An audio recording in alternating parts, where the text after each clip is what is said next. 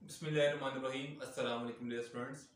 आई hope कि आप तमाम लोग जो खराफियत से होंगे और बड़ी शिद्दत से जो है वो इंतज़ार कर रहे होंगे कि नाइन यूनिट नंबर सेवन जो है हमारा कंप्लीट हो। तो आज हम यूनिट नंबर सेवन को कंप्लीट करेंगे। इससे पहले हमारे पास यूनिट नंबर नाइन के जो है वो दो लेक्चर यूनिट नंबर सेवन के दो लेक्चर्स हो चुके थे, जिसमें हमने last time Y D S E जो है वो डिस्कस किया था यंग डबल स्लिट एक्सपेरिमेंट और इंटरफेरेंस आज उसी से रिलेटेड मैं स्टार्ट कर रहा हूँ फ़र्स्ट एम एक एम ऐसा जो कि बड़ा रिपीटिंग एम है और यहाँ पे डिस्कस करना बड़ा इंपॉर्टेंट बनता है इसको। एक तो रिलेशन बिटवीन उससे पहले एम से पहले relation between intensity and amplitude relation between intensity and amplitude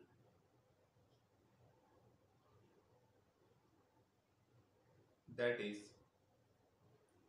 intensity is directly proportional to amplitude square. So student this is the relation between intensity and amplitude. Amplitude denoted by small a. यहाँ पे intensity क्या होती है? Intensity of light, power delivered per unit area. Luminous intensity और चीज़ है intensity of light और चीज़ है। ये हम पहले यूनिट वन में डिस्कस कर चुके हैं। यहाँ से जो इम्पोर्टेंट एमसीक्यूज है, वो देखें। एमसीक्यूज हमारे पास ये मोस्ट रिपीटिंग एमसीक्यूज हैं।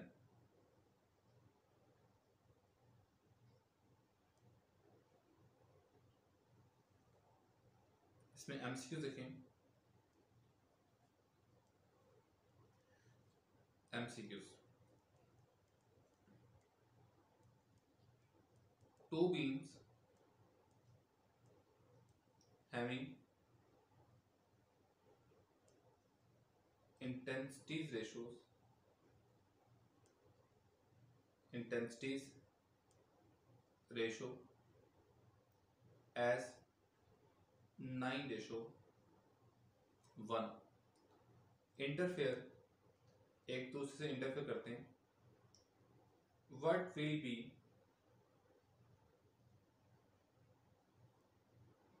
the ratio of maximum to minimum maximum to minimum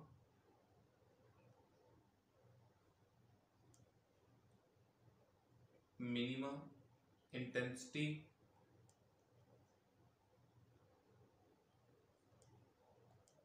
intensities on screen.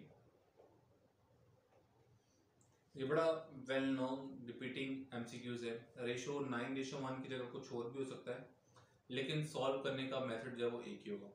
Alpha option one ratio nine beta option four ratio one Charlie option nine ratio one delta option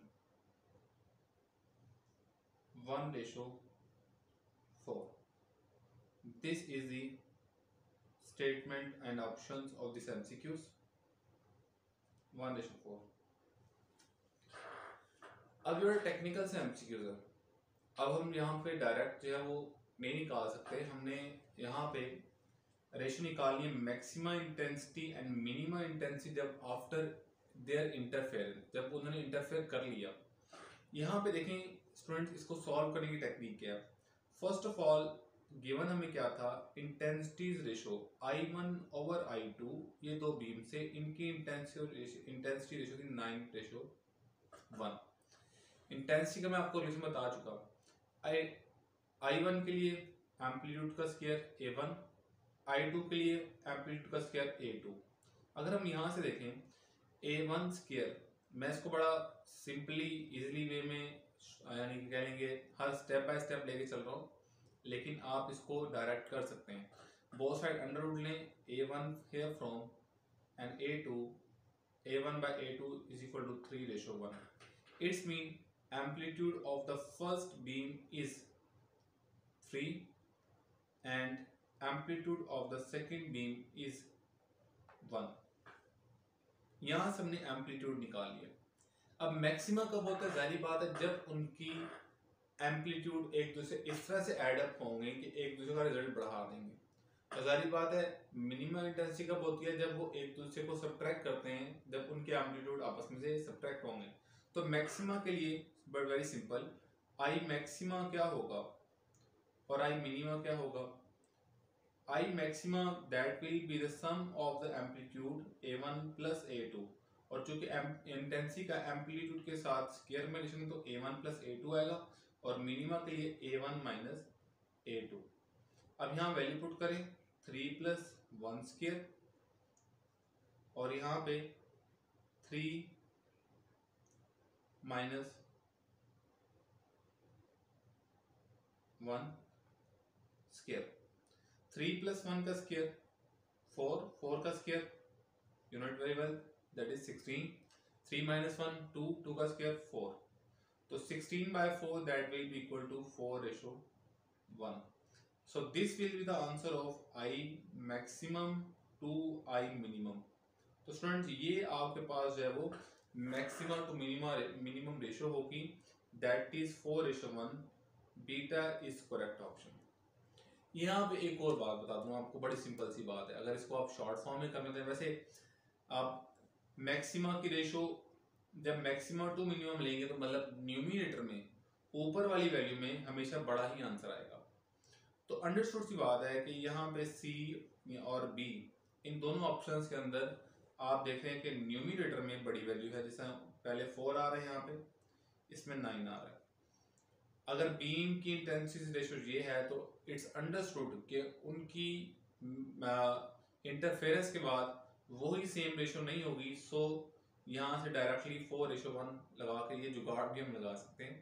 लेकिन यानी कि अगर आपके पास time नहीं है एम अगर आप इजीली शॉर्ट फॉर्म में करना चाहते हैं तो अगर आपके पास यहाँ पे लेट से कोई और वैल्यू दी गई है, और वैल्यू कौन सी दी गई है लेट बी सी यहाँ नाइन डिशो वन है। लेकिन अगर आपको यहाँ दिया तो सिक्सटीन डिशो वन और आपके पास ऑप्शन और होते तो आपने वहाँ पे सिक्सटीन डिशो वन और वन डिशो सिक्सटीन वाले दोनों जैसे यहाँ पे वन डिशो नाइन नाइन डिशो वन वाले वाले ऑप्शन है।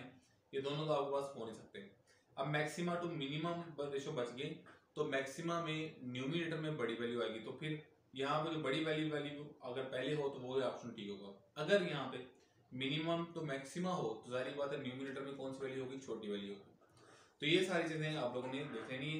अदरवाइज़ बेस्ट मेथड यही है कि आप इसको, ये शॉर्ट फार्मूला इसका आई मैक्सिमम ये वाला, ये शॉर्ट फार्मूला आप इसी से जो है वो इंटेंसिटीज मैक्सिमा और मिनिमा की रेशो निकाल के आंसर सेलेक्ट करेंगे।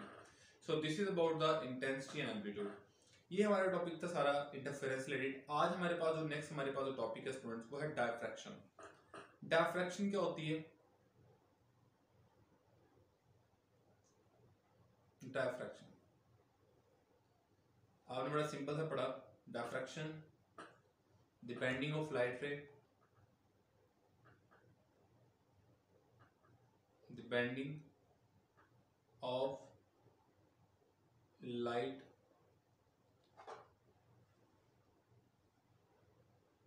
rays around the corner of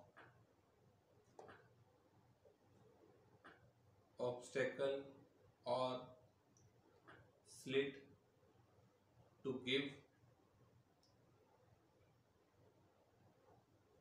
geometrical shadows in path of light.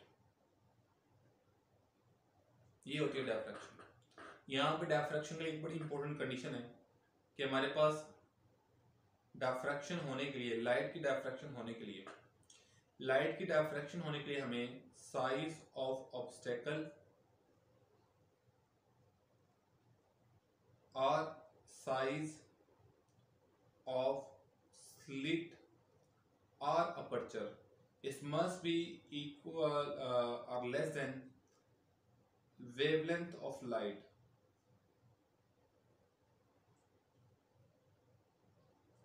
wavelength of light diffraction के लिए होना बहुत ज़रूरी है यहाँ पे एक आपके लिए सोचने समझने की बात यह है कि हमारे पास जब हम हैं तो हमारी साउंड वेव्स तो डायफ्रैक्ट हो रही होती हैं लेकिन तब वहाँ पे हमें यानी कि जैसे हम आ, मैं रूम में बैठा बोल रहा हूँ तो मेरी आवाज़ आवाज़ जो है वो बाहर जा रही होती है और इवन के साथ साथ रूम में भी जा रही होगी दैट वो कॉर्नर से जो है वो बेंड हो रही है वो हमें सुनाई देती है लेकिन इस तरह से हमें लाइट का डायफ्रैक्शन पैटर्न जो है वो कोई नज़र नहीं आता जो हमने यहाँ पे डिस्कस किया है। उसके लिए रीज़न ये है कि साइज़ ऑफ़ ऑब्स्टेकल और ये वाली कंडीशन ये हमारे पास नॉर्मल लाइफ के अंदर जो हम डेली लाइफ में देखते हैं, ऐसा यहाँ पे इतना विजिबल नहीं है ये इफ़ेक्ट उसमें यही है कि साइज़ ऑफ़ जो है वेवलेंथ ऑफ़ लाइट के इक्वल नहीं है, या साइज़ ऑफ़ स्लिट है वेवलेंथ ऑफ़ लाइट के इक्वल नहीं होता. नेक्स्ट देखिए यहाँ पे तक आपके पास वही बातें थी जो आपने फ़र्स्ट की बुक में पढ़ी हैं. लेकिन यहाँ पे आज हम डिस्कस करेंगे फ्रेशनल डायफ्रैक्शन डायफ्रैक्शन के टाइप्स हैं basically types of diffraction types of diffraction ये टाइप्स बेसिकली क्या हैं दो साइंटिस्ट है डिफरेंट उन्होंने डिफरेंट जो फिनोमिना डायफ्रैक्शन से प्रोड्यूस किए। एक था जॉर्जी फ्रेशनल फ्रेशनल डायफ्रैक्शन के नाम से इसका फिनोमिना फ़ेमस है। फ्रेशनल डायफ्रैक्शन फ्रेशनल डायफ्रैक्शन के अंदर क्या होता है? और ये वो डायफ्रैक्शन है जो हमारी बुक के अंदर नहीं है। और ये यानी कि ये कह लेंगे ये जो हमारी बुक के अंदर है, वो फ्रानोफर डायफ्रैक्शन है। फ्रानोफर डायफ्रैक्शन जो है, वो ज़्यादा प्रेफर की जाती है as compare to Fresnel Fresnel अभी आपको समझ आ जाएगी। फ्रेशनल डायफ्रैक्शन में पहली जो चीज़ distance between distance between source and screen is finite small distance होता है। Number to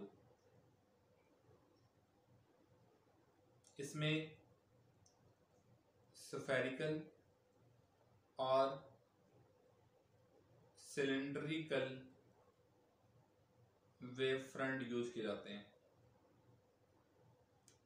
number three centre में भी ब्राइट और डार्क सेंटर में भी ब्राइट और डार्क। डाफ्रैक्शन एलिमेंट जो होता है, इसमें number four that is important diffraction element.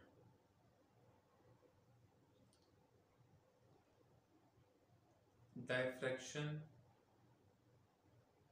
element जो होता है दैट आर जोन प्लेट्स ये जोन प्लेट्स क्या होती हैं? ये सर्कुलर फॉर्म में स्लिट्स थी जो फ्रेशनल ने बनाई थी। यहाँ पे जोन प्लेट्स होती हैं और साइज़ यहाँ पे बेसिकली ऑब्स्टेकल होती है। एक चीज़ आपने डायफ्रैक्शन की डेफिनेशन में मे भी नोट की हो कि यहाँ पे मैंने डाफ्रैक्शन में साइज़ ऑफ़ ऑब्स्टेकल हालाँकि बुक में हमारे पास सिर्फ़ साइज़ ऑफ़ स्लेटिंग या फिर हमारे पास साइज़ ऑफ़ अपर्चर दिया हुआ है। लेकिन ये साइज़ ऑफ़ ऑब्स्टेकल है this denotes the Fresnel diffraction तो इसमें हमारे पास जो है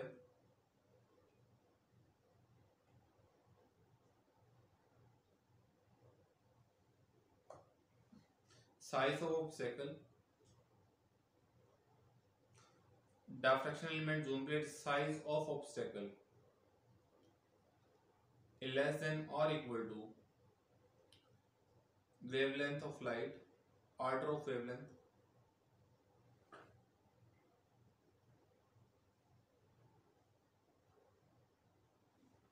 wavelength of light या order of wavelength तो ये सारा था फ्रेशनल उसके बाद हमारे पास दूसरी है फ्रानोफर जो हमारी बुक के अंदर है फ्रानोफर फ्रानोफर डायफ्रैक्शन फ्रानोफर डायफ्रैक्शन जो है वो ज़्यादातर प्रेफर्ड की जाती है। Why it is preferred because इसमें ऑप्टिकल डिवाइसेस यूज़ हुई हैं हाँ इसमें फ्रेशनल में आप पांचवा पॉइंट ये भी लिख सकते हैं। नो लेंस और mirror is use no lens और मिरर इज़ यूज़ इसमें कोई ऑप्टिकल डिवाइस यूज़ नहीं थी फ्रानोफर ने ऑप्टिकल डिवाइस यूज़ की थी। Number one distance between source and screen is infinite large distance as compared to Fresnel distance between source and screen is infinite. Number two, plane wave fronts are used. इसमें plane wave front use होता है जैसा कि देखेंगे हमारे पास ये source अगर इनफाइनाइट डिस्टेंस पे है तो ये हमारे पास जो है वो अच्छा इसमें ऑब्स्टेकल नहीं है, इसमें हमारे पास स्लिट्स यहाँ पर होगा। तो ये हमारे पास जो है वो स्लिट है, ये हमारे पास स्क्रीन है। तो इसमें इन्होंने यहाँ पे एक लेंस रखा था, जैसा कि आपने एक एम भी है। अगर हम कन्वेक्स लेंस के फोकस पे एक सोर्स रखते हैं तो उससे एमिट होने वाले जो वेव फ्रंट हैं, वो क्या होते हैं? प्लेन वेव फ्रंट होते हैं। इससे प्लेन वेव फ्रंट जो इमिट होंगे तो फिर यहाँ पे फिर एक और इन्होंने लेंस प्लेस किया था जिससे हम कहते हैं कि लाइट डाफ्रैक्ट होके आई एंड सो ऑन और फिर हम इसको एक पॉइंट पे जो है वो पी पे कन्वर्ट्स करते हैं, फिर ये अपना फिनोमिना जो है वो बनाती हैं, अपनी फ्रिंजेस बनाती हैं. तो so this these are plane wave fronts उसके बाद सेंटर इसमें हमेशा जो है ब्राइट होता है center is always bright. Number four इसमें हमारे पास जो डाफ्रैक्शन एलिमेंट है, जो डाफ्रैक्शन के लिए हमने चीज़ यूज़ की है डाफ्रैक्शन एलिमेंट ये जो ऊपर डायग्राम बनी है, ये सिंगल स्लिट की है. इस तरह से सिंगल स्लिट डबल स्लिट और एन स्लिट्स एन स्लिट्स को हम बोलते हैं डेफ्रेक्शन ग्रेटिंग जो हमारे पास बुक में टॉपिक भी है. डेफ्रेक्शन ग्रेटिंग इसको भी हम डिस्कस भी करते हैं डेफ्रेक्शन ग्रेटिंग को. उसके बाद हमारे पास जो है वो सारा हो गया. इसमें सारी बात है convex lens are used convex lens are used इसमें हमने दो कन्वेक्स लेंस जो यूज़ किए थे तो ये है सारी फ्रॉनोफर जो हमारी बुक के अंदर है। अब यहाँ पे हम डाफ्रैक्शन ग्रेटिंग की तरफ़ चलते हैं। डाफ्रैक्शन ग्रेटिंग यहाँ हमारे पास एन स्लिट्स क्या होती हैं? डाफ्रैक्शन ग्रेटिंग डाफ्रैक्शन ग्रेटिंग में बताया आपको, हमारे पास एक ट्रांसपेरेंट ग्लास प्लेट होती है। जिसके ऊपर हमारे पास बहुत सारी स्लिट्स इक्विडिस्टेंस स्लिट्स जो है वो रोल होती है mechanically a transparent glass plate a transparent glass plate on which a large number of slits a large number of equidistant slits are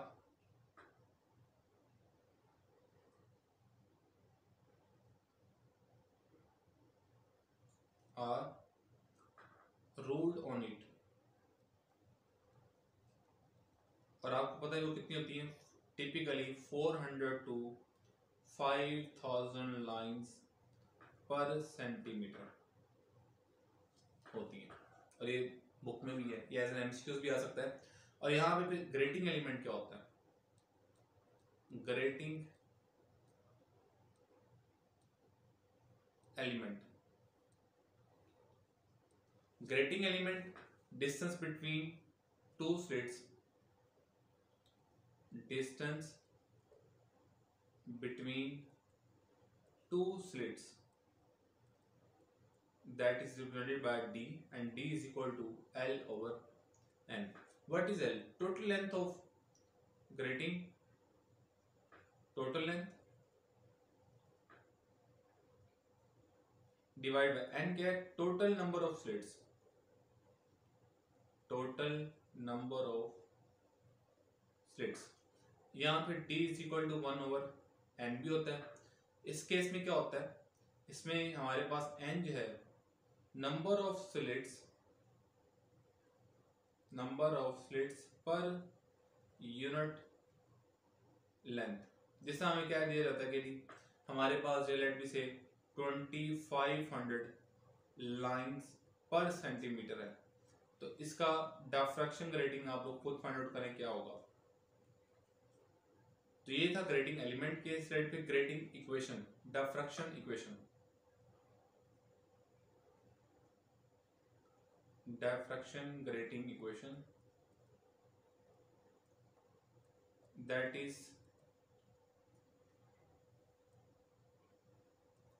d sine theta is equal to n lambda where n is equal to 0 plus minus 1 plus minus 2 and up to so on यहाँ पे देखें यहाँ एक important बात we will we shall ignore we shall ignore diffraction at theta is equal to 90 degree जारी बात है जैसा स्लिट है तो स्लिट पे परपेंडिकुलरली लाइट इस तरह से तो डिफ्रैक्ट नहीं करेगी। लाइक दिस सो इस केस को हम theta is equal to 90 degree पे डायफ्रैक्शन को डिस्कस नहीं करेंगे। और एक और इम्पोर्टेंट बात जिस तरह यहाँ पे वो इम्पोर्टेंट बात डिस्कस करने से पहले, आपने बुक के जो न्यूमेरिकल हैं, वो आप लोगों ने खुद करने हैं 9.5 टू 9.8 5 6 7 8 और शॉर्ट क्वेश्चन बुक का 9.8 है शायद डिफ्रैक्शन वाला, वो भी आप लोग देखेंगे। यहाँ इम्पोर्टेंट बात है 9.58 9.8 न्यूमेरिकल में एक न्यूमेरिकल आता है जिसमें हमने ऑर्डर नंबर फाइंड आउट करना होता है। और देखें वी विल इग्नोर जो इम्पोर्टेंट पॉइंट है वही है we ignore we shall ignore या we ignore here rounding off data हम यहाँ पे राउंडिंग ऑफ़ डाटा को इग्नोर कर देंगे, जिस तरह के वो इम्पोर्टेंट बात कि हमारे पास एक न्यूमेरिकल है, जिसका आंसर था 5.6 अब 5.6 को आप सेवन नहीं लिखेंगे, और सिक्स नहीं लिखेंगे आप उसको। 5.6 जो है वो फाइव ही होगा। ऑर्डर जो है वो कितना होगा? वो फाइव ही होगा। इवन कि हमारे पास अगर 5.9 वैल्यू भी आ जाए तो ऑर्डर जो है वो फाइव ही होगा नॉट इक्वल टू सिक्स तो यहाँ आपने राउंडिंग ऑफ़ डाटा को इग्नोर कर देना है, और आपने यहाँ पे जो आपके पास बिल्कुल एक कंप्लीट नंबर आ रहा है, उसी को आप ऑर्डर नंबर लेंगे पॉइंट्स वाली वैल्यूज़ आप लेफ़्ट कर देंगे। यहाँ पे ऑर्डर नंबर का देखें अगर हम ऑर्डर की बात करते हैं d sine theta is equal to n lambda यहाँ पे जो एन है, इसका वेवलेंथ के साथ क्या रिलेशन है? पहला तो रिलेशन इसका डिस्टेंस बिटवीन स्लिट के साथ। जितना डिस्टेंस बिटवीन स्लिट ज़्यादा होगा, उतना ही ऑर्डर नंबर ज़्यादा होगा। नंबर टू इसका एंगल के साथ क्या रिलेशन है? That is direct number three wavelength के साथ क्या है? इनवर्स यानी कि जितनी वेवलेंथ ज़्यादा होगी, उतना ही ऑर्डर नंबर कम होगा। और जितनी वेवलेंथ कम होगी, उतना ही आठ नंबर क्या होगा, ज़्यादा। यहाँ पे आप पे लास्ट एक एमसीक्यू आप लोगों के लिए आप लोग उसका आंसर खुद देंगे। Which of following light is more diffracted कौन सी लाइट जो है वो ज़्यादा डायफ्रैक्ट होती है? Alpha option red beta option, violet, Charlie option, green, delta option, yellow. तो ये आपके पास एमसीक्यूज हैं इसका आंसर आप लोग खुद देंगे कि इनमें से कौन सी लाइट जो है वो ज़्यादा डायफ्रैक्ट होती है। तो स्टूडेंट ये था हमारा सारा डायफ्रैक्शन वाला टॉपिक और डायफ्रैक्शन में और भी बड़ी कंडीशन है। जब एक मैंने आपको शुरू में बताया था कि हमारे पास डायफ्रैक्शन जो लाइट की है उसमें हमारे पास साउंड डायफ्रैक्शन मैंने बताया और फिर डेली लाइफ में हमारे पास डायफ्रैक्शन इफ़ेक्ट क्यों नहीं आते? एक्चुअली वो ब्रॉक्स लार्ज ब्रैक्स इक्वेशन भी देखें। आपके पास जो एक्स रेस में है two d sine theta is equal to m lambda ये भी आप लोग याद रखेंगे। वैसे हमारे पास टॉपिक के अंदर यूएचएस के सिलेबस में डाफ्रैक्शन ग्रेडिंग तक की था। एक्सरे डाफ्रैक्शन नहीं किया, लेकिन फिर भी आप लोगों ने two d sine theta m lambda ये ब्रैक इक्वेशन है। ये किस लिए यूज़ होती है एक्सरे इसके थोड़े से यूजेस और ये सारी चीज़ें आप लोग देख लीजिएगा। यहाँ तक हमारा जो है वो चैप्टर नंबर नाइन जो यूनिट नंबर सेवन के अंदर आता है, वो हमारे पास जो है वो कंप्लीट हो गया। नेक्स्ट हमारे पास जो है वो भी चैप्टर नंबर टेन का कुछ पार्ट है यूनिट नंबर सेवन के अंदर, वो हम डिस्कस करते हैं। यूनिट नंबर सेवन में कुछ टॉपिक्स हैं वो चैप्टर नंबर टेन के जो है वो ऑप्टिकल फाइबर से रिलेटेड हैं।